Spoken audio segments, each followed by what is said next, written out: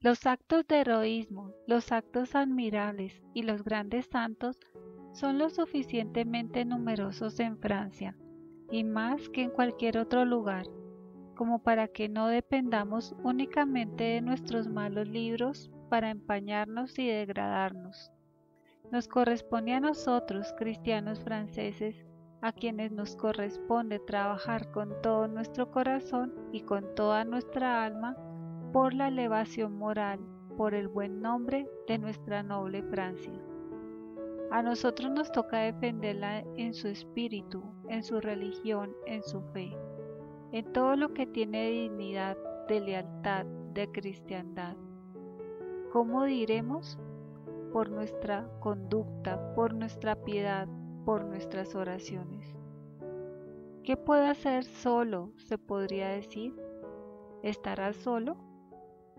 Y entonces, si eras el único que lo estaba haciendo bien, ¿es por eso que no deberías continuar? ¿No es suficiente una chispa débil para encender un gran fuego? ¿No basta que un corazón rebose de amor para que otros mil se llenen de él? Y entonces una sola buena voluntad la hace inmediatamente levantar masas. El corazón de los niños pequeños no fue creado para rezar, para amar, porque hay tan pocos que oran. Sin embargo, la oración de los niños es todopoderosa. Nada más hermoso ha subido a Dios que la oración de los niños. Varios niños unidos en oración están haciendo cosas maravillosas para el cielo. Oh madres, haz que tus hijos amen la oración y Dios encontrará su gloria en ti. Asegúrese de que los ángeles estén orando entre los niños y pidiendo con ellos. Siembra, haz brotar la buena semilla en las almas, y Dios bendecirá nuestro humilde esfuerzo y nuestra oración. Él hará crecer y blanquear la mies, derramando sus rocíos divinos. Trabajar por el bien y la salvación de las almas es asegurar la propia felicidad en este mundo y en el cielo. Pero lo que es necesario sobre todo es santificar la propia. No olvidemos que solo somos pobres siervos, que Dios nos usa, pero que nada podemos hacer sin Él. Tenemos que subir una mala corriente y es absolutamente necesaria la creación de un grupo de élites Sí, necesitamos, necesitamos una élite parroquial, por pequeña que sea, pero una élite imbuida de rectitud, inmensamente fiel y devota, que posea el verdadero espíritu parroquial, que en modo alguno es espíritu de campanario, fundamentalmente cristiana y generosa. La obra parroquial debe ser toda de caridad, de caridad fraterna, entre los miembros que la componen y para todos. El grupo parroquial debe en todo respirar bondad, paciencia, relacionar todo con Dios y darle todo a Él.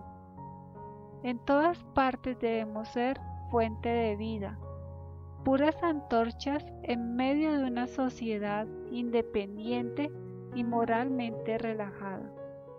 Es a través de una sana influencia llena de tacto y delicadeza que poco a poco lograremos transformar algunos elementos.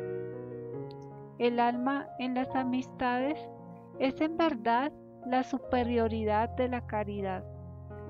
Es un alma que se une a las almas con miras a Dios. En el prójimo es lo mejor que debemos aprender a ver y es lo mejor de nosotros mismos que debemos saber dar. La escritura dice, sed santos los que tocáis la vasija del Señor. Seamos santos los que queremos amar y hacer amar a Dios y hacer el bien a las almas. Para actuar tienes que serenarte a ti mismo. Para trabajar exteriormente hay que trabajar interiormente y esperar la hora de Dios. La acción requiere de nosotros mucho trabajo profundo. Sed interiores si queréis ser fecundos. Para entrar en la milicia hay que querer ser María antes de ser Marta y siempre y en todo combinar el papel de María con el de Marta.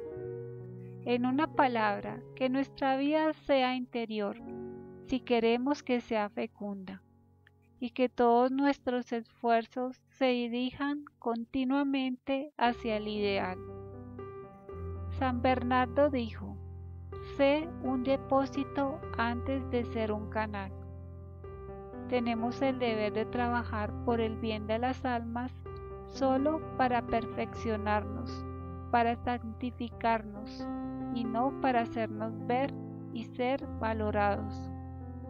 Es la mortificación y la humildad lo que nos mantendrá a salvo. Ignoremos a los celosos contra viento y marea. Hagamos lo que hagamos, los celos siempre causarán estragos en la alegría de la acción santa, como en las inevitables dificultades, que nuestro corazón se eleve a Dios cada vez con los acentos más puros de la petición, nuestra acción de gracias. Señor, danos la verdadera fe para que podamos participar de la verdadera vida y danos el poder de darla a los que amamos para que también ellos participen de la vida eterna.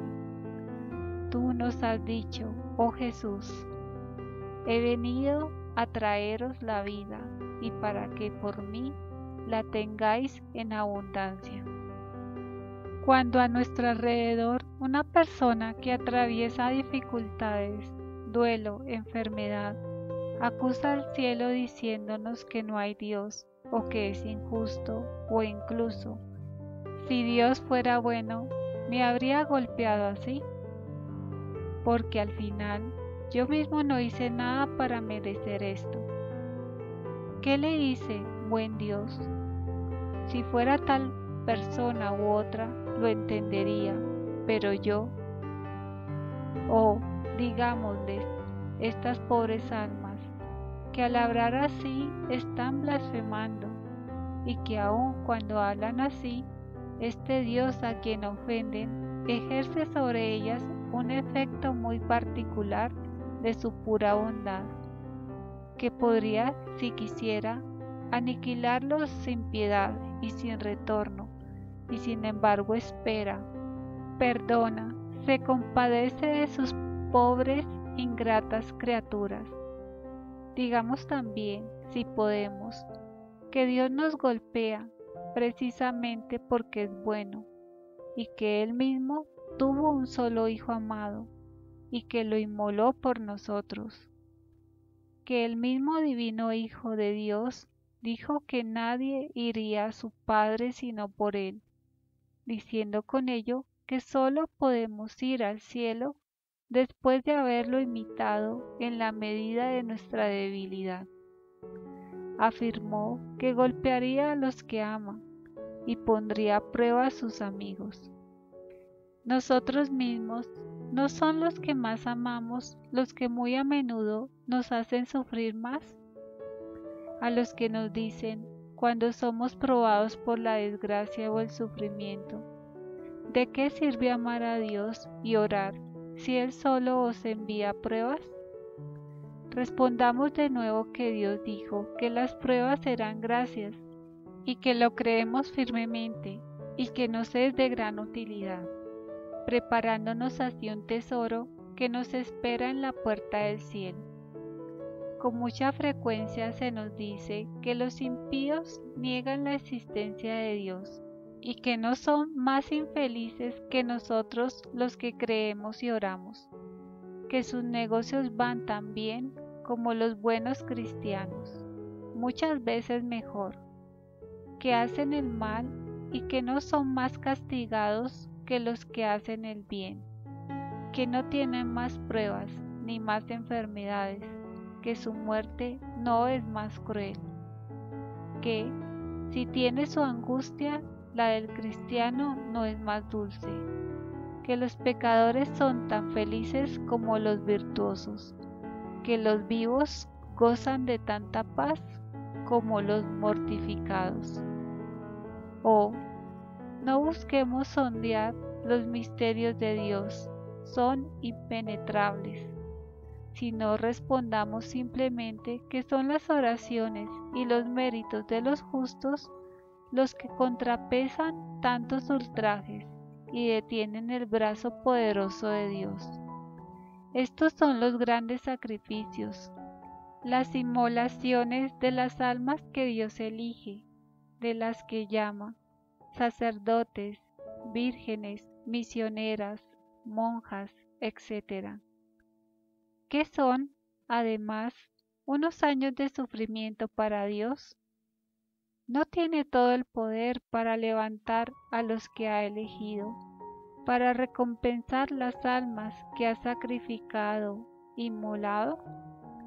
Y entonces, si el dolor y el sacrificio tuvieran siempre aquí abajo su recompensa, y si el crimen y el vicio fueran siempre castigados, ya no habría mérito posible